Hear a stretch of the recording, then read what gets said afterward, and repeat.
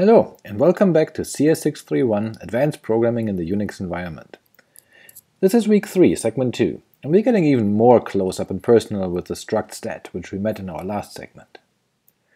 In the next few sessions, we'll focus primarily on the stmode member, and we will discuss how file permissions are set and applied. To do that, we'll also learn a little bit more about file ownership and the user IDs of a process, the focus of this video segment. Okay, let's begin. Every process running on a Unix system has six or more UIDs associated with it. They are shown here. For starters, there's the real user ID and the real group ID. They represent who we really are. This is important, since a process may change the ID that it would like the system to consider when granting permissions. For that, the system uses the process's effective user ID and group ID. For group permissions, a process may further have additional, secondary, or supplementary group IDs associated with it. Now in most cases, the effective UID and the real UID are identical, just like the effective GID and the real GID are likely identical.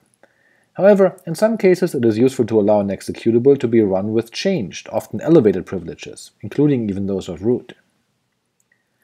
In that case, we set a special bit on the file's ST mode, the setUID bit and the system will set the effective UID or EUID to that of the owner of the executable. The real UID will remain that of the user. Similarly, the same can be done using group ownership and the setGID bit. We'll show an example in just a second. When a setUID process is exec, the so-called saved setUserID is set to the effective user ID. This is important. A call to change the effective user ID later will only be allowed if it is to change the EUID to the current real UID or the saved set UID. By using and allowing the saved set UID, a program is then able to toggle its effective UID between the elevated privileges and the privileges of the real user. The behavior and semantics of these saved UIDs is a bit confusing, as the historical behavior was inconsistent between the BSD and System 5 derived systems. I have some links in the code examples for you to read up on, if you're interested, but the important takeaway here is that 1. exec sets the saved set UID and saved set GID. 2. Changing the effective UID or effective group ID is allowed to either the real, the real UID or the saved set UID or group IDs respectively. Let's illustrate the need for the ability to assume another user's privileges by example. As you probably know, the ping command sends out ICMP echo request packets to the destination, awaiting echo reply packets in return. But sending ICMP packets requires the program to open a network socket in raw mode, which in turn requires superuser privileges. Without the ability to elevate privileges, only root could ping hosts. This is what that would look like.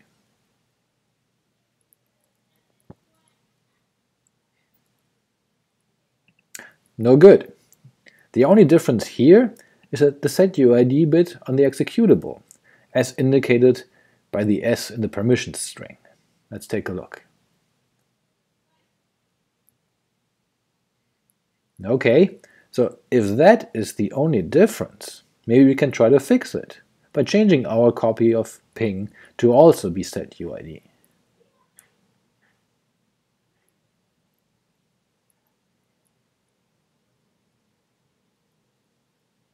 Well, it looks the same. But no surprise, that's not good enough. Remember, the setUID bit, says when a user executes this file, set the effective UID to that of the owner of the file. But we already are user J Schauma, so our effective UID already is the one that this setUID bit would enforce. In other words, the setUID bit is only meaningful when the stuid field in the struct stat of the executable is different from the euid of the user executing the command. Now, while the setUID bit is a commonly used mechanism, and can, if the program in question is not written with particular care, lead to serious security issues, the concept also applies to group IDs. Again, let's illustrate by example. In this case, we have two different users logged into our system, user J Schauma on PTS0 in the left-hand terminal window, and user Fred on PTS1 in the right-hand terminal. When you have a multi-user system, it sometimes is necessary or desirable to be able to send a message to all currently logged in users. For this, our Unix system comes with a wall command that allows any user to send a message to all other users to be displayed on the terminal. Here, let's say hi to everybody.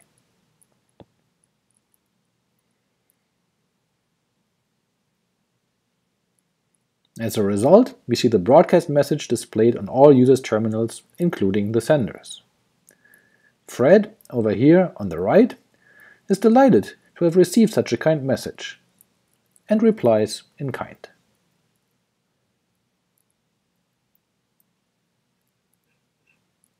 As the broadcast message indicates, the communication happens via the pseudo terminal, PTS0 and PTS1 in this case. Let's look at them.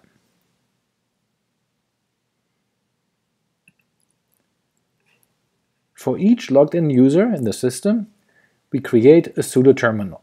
Messages written to this device are displayed on the user's terminal. But for hopefully obvious reasons, we can't just let every user write to everybody's terminal, and the file permissions shown here reflect that. But we notice that these devices do have a group write permission set, and that the wall program, while not setuid root, is set setgid and has a group owner of TTY. Let's take a look.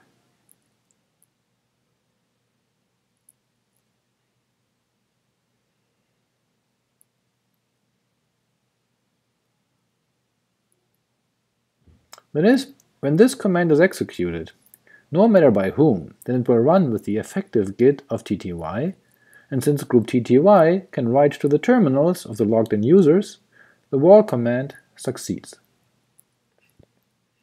This, by the way, is also a good illustration of the concept of least privilege. A process should only be given and use the privileges it needs, not more. Of course, we could have made the wall command setuid root, and it would have worked just as well.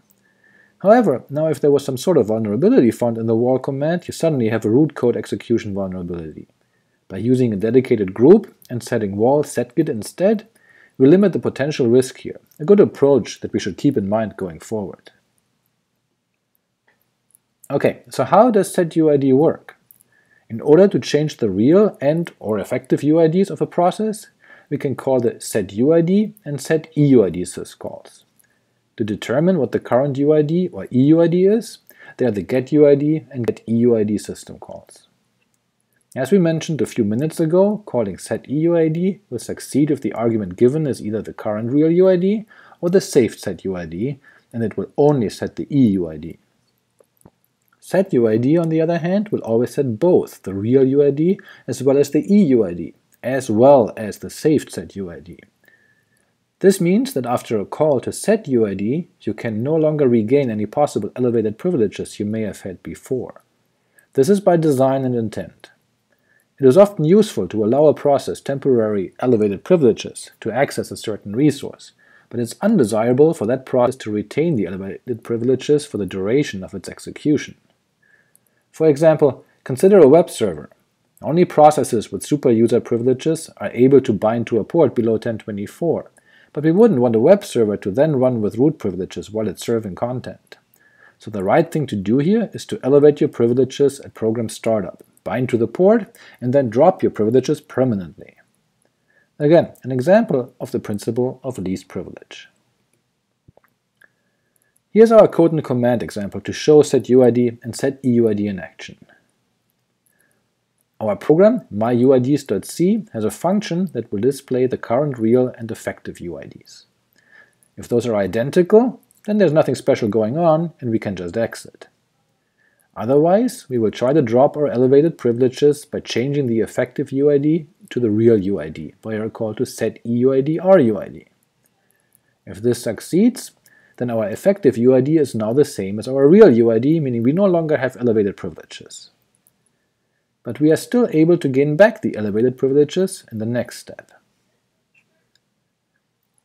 After that, we call setUID, not setEUID, which will set our real, effective, and saved setUID to the current unprivileged real UID. There's no turning back from that now, our next call to set EUID should fail. Let's run it.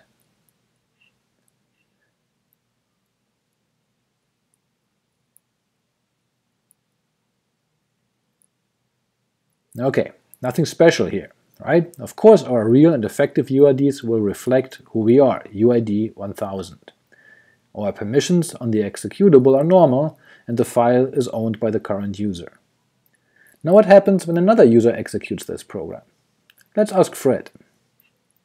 Fred has UID 1001, but since the permissions on the program include read and execute for others, Fred can run this program and the output will again show both effective and real UIDs to be in sync. 1001. Okay, now back to the owner of this file. Let's change it to be setuid. Again, if we run this as jschauma, then there's no difference, since we already have EUID and real UID 1000, right? But for Fred, things are a bit different now. When Fred executes the program, it will set the effective UID to that of the owner of the file, jschauma. And so,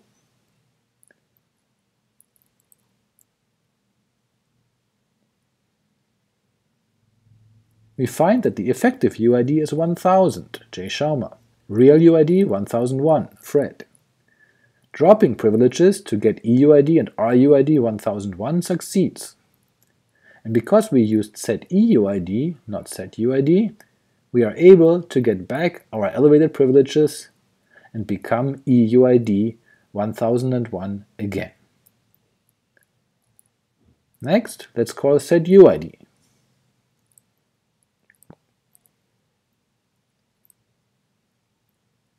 After this call, we are EUID and RUID 1001, Fred. But now, with no more way to gain back our EUID 1000, any attempt to regain these privileges will fail.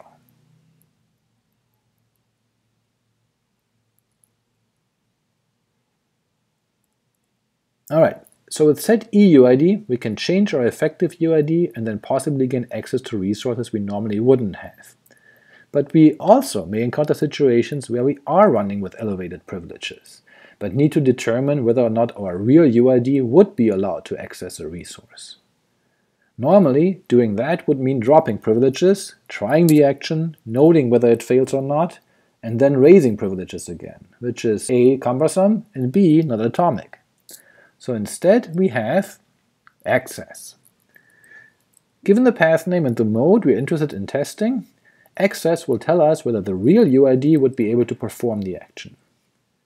Consistent with the other calls we've seen, this call also comes in the f variant, again resolving relative paths under the directory file descriptor passed as the first argument. Let's show a quick example of how one might use the access system call. The program is about as simple as you can imagine. We perform the access check, then we try to open the given file. We expect both to succeed or fail if EUID and real UID are the same, but to give possibly different results when they are different. Let's give it a go. First, we try it out against a file we know we have permission to read, etc password. No surprise here. Next, we try out a file that we know we do not have permission to read, etc master password. So far, so obvious. Now, let's make it more interesting by changing the ownership on the executable to root and then setting the setuid bit. Now on etc password, nothing changes, since our real UID can open that file in read-only mode.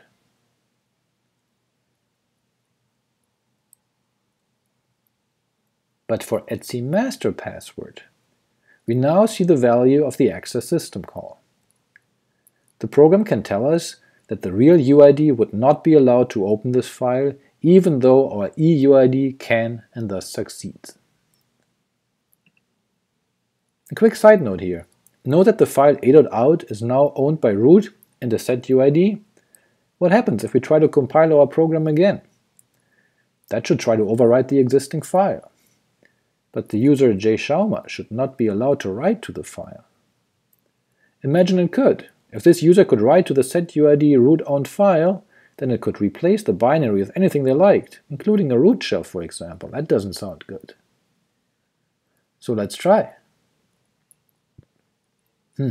The compiler did not complain, and it did write a new a.out. So how did it do that? Tell you what, why don't you think about this and come up with a theory and test, and we'll come back to this in our next lecture, okay? Alright, time for a break. Let's recap. Our process has an effective user ID as well as a real user ID, just like an effective group ID as well as a real group ID. If the setGID bit is set in the permissions, the effective UID or group ID will become that of the STUID or stgroup ID of the file struct stat at execution time. You can switch between these using the setEUID system call, but once you call setUID, you can't go back. The effective UID and group ID are the ones used for file permission checks, but we can check whether the real ID would have permission via the access system call. With that in mind, we'll move on to the details of file permission checks in our next video segment. Stay tuned!